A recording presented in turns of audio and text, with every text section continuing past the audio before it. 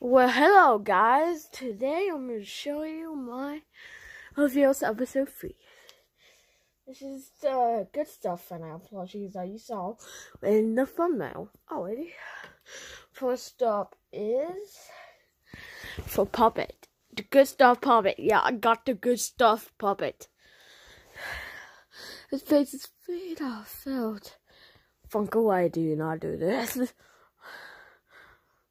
But I love him. Looks cool and cute. Uh, his leg needs. Bowie, I love that. I like the plushie. Not bad. I put him like you. Alrighty, next one is Balloon. Balloon Boy. Yeah, Balloon Boy.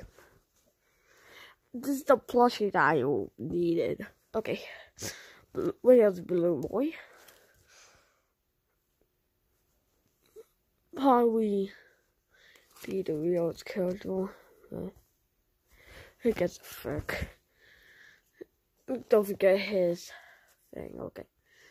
And final one is Mangle. Mangle. Mm, Mangle. she looks so adorable, but